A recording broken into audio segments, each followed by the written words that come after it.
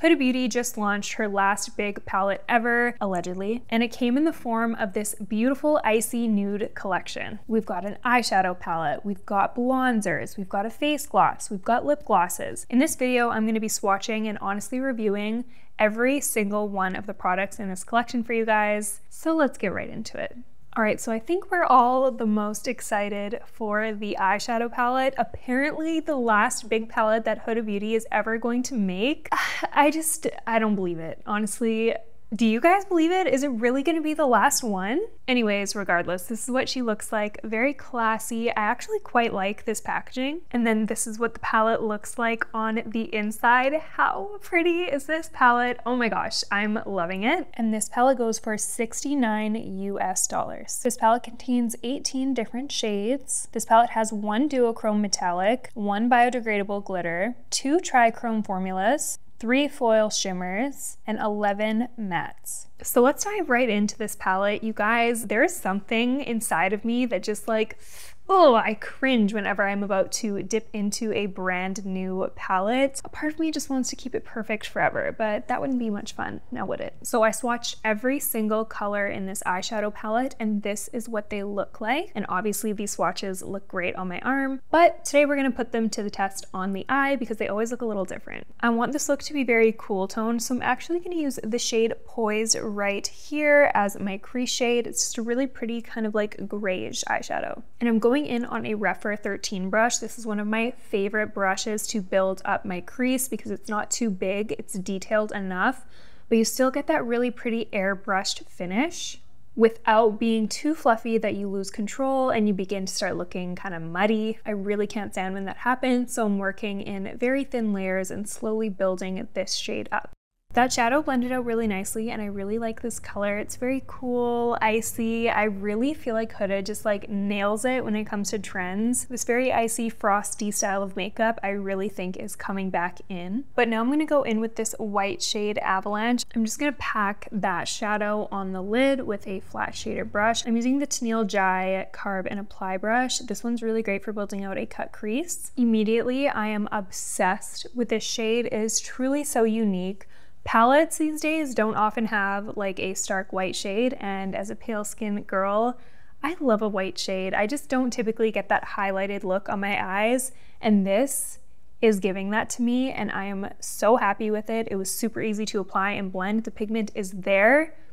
This I'm liking so far. I don't know if this silver shade platinum right here is gonna be too dark, but I'm gonna try and apply that to the lid. I'm going to apply this color with my fingers. I'm just gonna lightly tap this in the center of my lid to begin to build that shimmery icy dimension. That is so pretty. I think that silver is so nice. It's not too like overpowering, which is nice. Now I'm going to go in with the shade Diamond Dew, which is another silver shade, except this one looks a little bit more glittery and shimmery so I have a feeling this one is going to pack more of a punch. Again, just picking that up with my finger and tapping it in the center of the lid.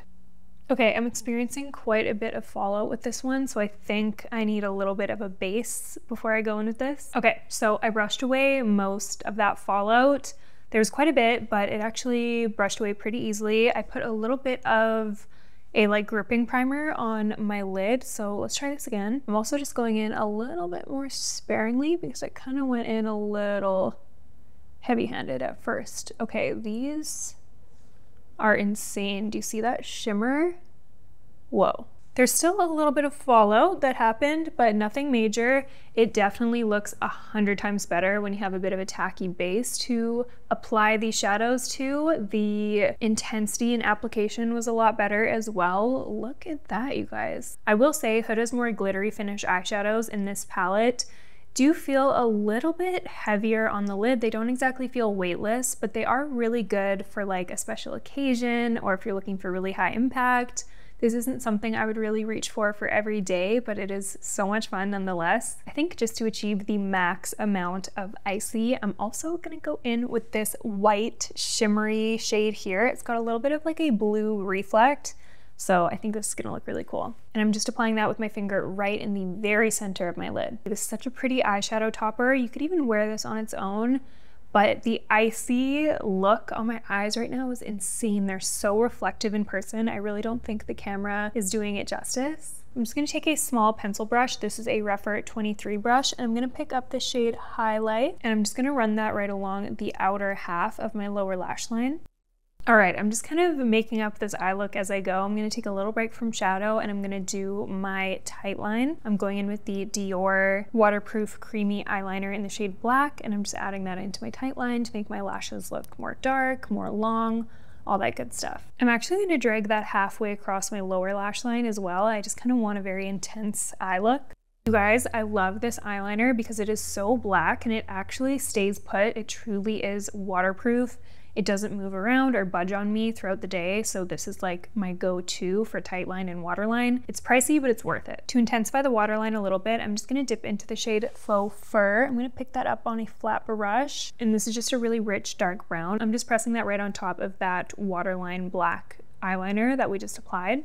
I want to see how these eyeshadows perform as liners, so I'm going to go in with the shade She Rich. This is this dark, kind of like almost black shade, but not, it's almost like a plummy color. And I'm just using a small angled brush to map out my eyeliner shape. I'm keeping this pretty close to my lash line. I don't want it to be too insane. That eyeshadow actually applied really easily as liner. It gave me enough pigment and it also didn't give me any fallout, so I appreciate that. I think the eyes look really pretty so far. To finish off the eyes, I'm just gonna give my lashes a coat of mascara. I'm using the L'Oreal Paris Panorama Mascara. My opinion remains pretty consistent with other Huda Beauty palettes in the past. I really love their matte shadows, particularly their formula in that way stands out so much to me. Their shimmer formulas, honestly, are not my favorite necessarily, but they are good still. And I think people who like more intense eyeshadow looks would gravitate more towards these shimmers. The shimmers I tend to use tend to be more of like a sheer eyeshadow topper kind of vibe.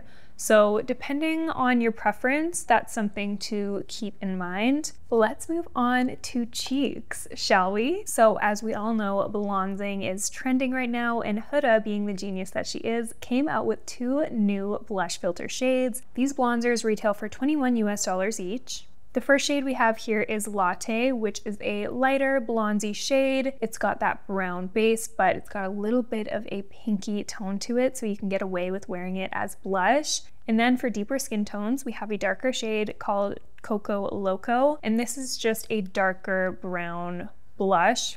And this one, in my opinion, has a little bit less of a pink tone. This is more of a bronze shade, but let's try both of them. I'm nervous. I think I'm gonna start with the darker shade. I honestly don't know if this is something I'm gonna be able to use being that I'm so fair, but let's give it a shot anyways. I'm gonna use it as more of like a bronzer, I think. So I'm just gonna apply about that much. And what I love about these is they are so easy to blend Okay, so I'm starting to see the pink tinge.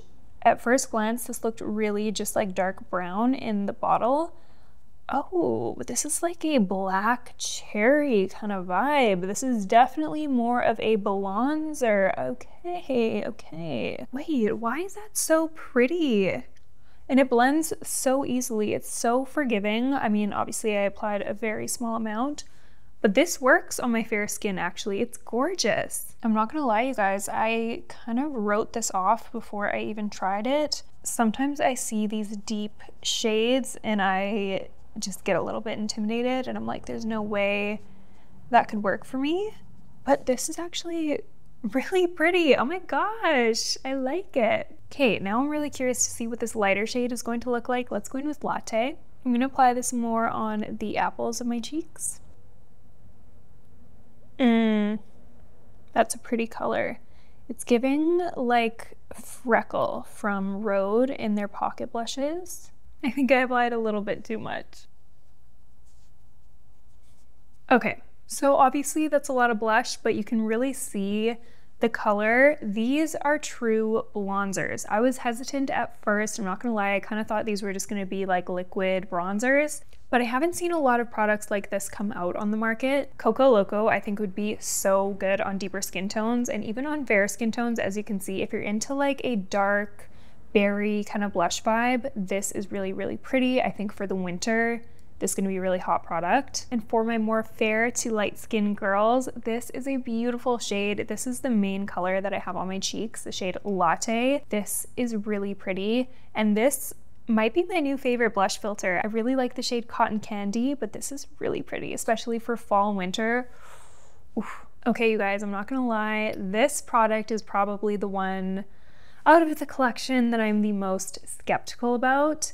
This is their face gloss in the shade Frostbite. This face gloss retails for 39 US dollars. And I've tried Huda's face glosses before and I just wasn't the biggest fan, so I'm wondering if this one is gonna be different. I think the little specks on the product itself give some people the ick because it looks kind of like mold. It's funny, my husband was like, it looks like germs. But to me, I really don't mind it. I think it's fun, it's cool, it's innovative, it's different. As for the product itself in application, Let's find out. I kind of toned down my blush a little bit. I'm just gonna apply it on top and get a feel for what I think. I'm just gonna pick that up on my fingers and begin to apply that. So my immediate honest thoughts, you can see the pH pink shade that shows up on the skin immediately. To me personally, I'm not a huge fan of the pH pink shade. However, this I think on its own with no makeup would look really pretty. And I'm also really impressed with the way this product applied on top of my full face of makeup.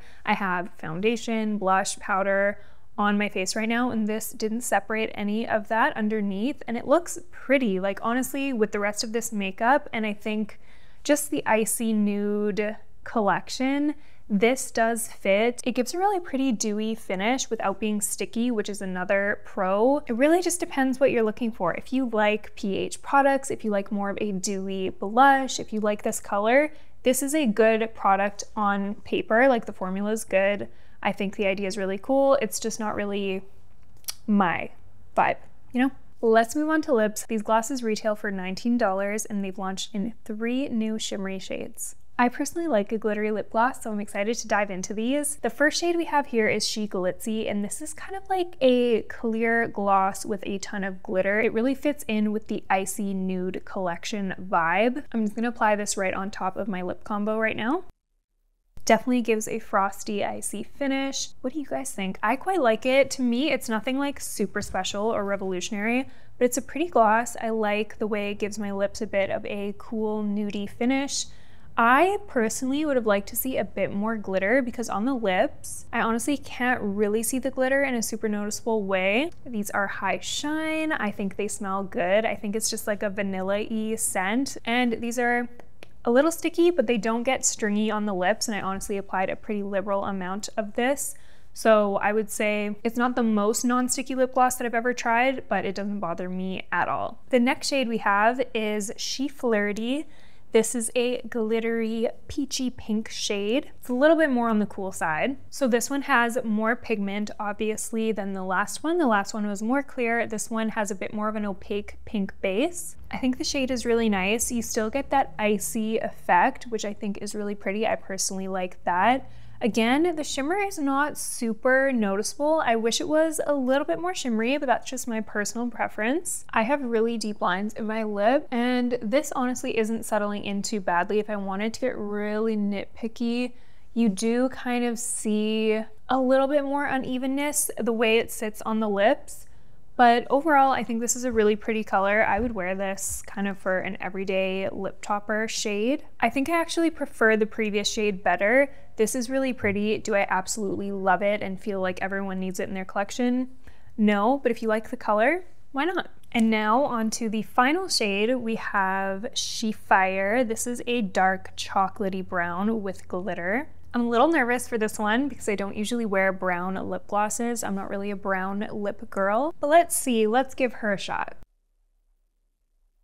I'm gonna be completely honest, y'all. This one is a pass for me. I think this would be beautiful on deeper skin tones or people who like dark brown lip colors in general. That's just not me. I'm more of a pinky lip color kind of girl. But I don't know, what do you guys think? Can I pull off this color? I just feel like I cannot pull off brown on my lips. Just not for me personally, so it's a pass. My favorite shade of the lip glosses is She Glitzy, so I'm just gonna put that one back on. And by the way, if y'all are curious, about my lip liner. It's Huda Beauty Honey Beige Lip Liner. I'm gonna link it down below. I love this lip liner. It's not too pink, not too brown. It is perfect. Yeah, this lip gloss shade is definitely my favorite. If I had to pick one, it would be this one. So here are my final thoughts. Here's what I would recommend and what I would pass on. First off, we have the Icy Nude eyeshadow palette. Purchase or pass, I say purchase, especially because allegedly this is Huda Beauty's last big eyeshadow palette. This is honestly probably the favorite one that I've ever owned. I personally love cool tone shadows and I think there's a really good diversity of shades in here. The one thing I would have liked to see is a black, but not a deal breaker for me. I think this is a really fun palette and I think it's about to be really, really in trend. So I say pick up yours while you can. I am gonna link this palette as well as everything else I mentioned down in the description box down below. Just so you know, they are affiliate links. So what that means is if you purchase a product using the link in the description box, I get a small percentage of the sale. And of course, no pressure to use my links. But if you do want to support me and my channel in that way, it's greatly appreciated. I always want to be super transparent with you guys. And then we got the bronzers. These took me by surprise. I wasn't expecting to like these as much as I did, especially this darker shade here. These are both beautiful, and as you guys know, if you watch any of my other videos, I'm a huge fan of the Huda Beauty blush filters. I think the formula is incredible. So great for beginners if you have a hard time blending your brush. I mean, blush. Why do I always do that? But yeah, definitely recommend these if you're looking to get into the bronzer trend or if you like a more brownie blush. These. So good. And now we've got the controversial face gloss. Honestly, I would personally say pass. I think this is fun. I think this is different. If you want a pH adjusting dewy blush, you would probably like this one, but for me, it's not something I'm gonna use very often, so I can't say I recommend it. Last but not least, we have the glosses, and these, I'm gonna be honest, slightly underwhelmed. I do actually recommend this one because I think this is quite unique. I don't have a gloss quite like it in my collection. It gives a really subtle, icy, frosty look to the lips that I actually really like, so I will be using this one. These two, mm, these two I'm torn between purchase or pass. Honestly, I think for me, it just depends on what color of lip gloss you like. If I was gonna be really nitpicky about this pink one, it didn't apply like 100% smoothly. And to me, there's nothing super special about this color in particular. I just prefer the previous one that I spoke about more. Not to say this isn't a pretty gloss. If you like this shade, by all means, the formula is good. And then the brown, I just have to say pass on this because personally I don't like brown glosses, but if you like brown glosses, I think you might really like this one. And I think for the fall and winter season, for those of you who like a brown lip, You'll probably like this, honestly. And that's it for my full review of the Huda Beauty Icy Nude collection. I hope you found this review helpful. Let me know what you're gonna pick up from this collection down in the comments. I am so snoopy. I love to know what you guys are picking up. I respond to pretty much every single comment, so I'll meet you guys there. And if you haven't already, please give this video a thumbs up and subscribe to my channel. Join the fam. Thank you so much for watching, and I will see you in the next one.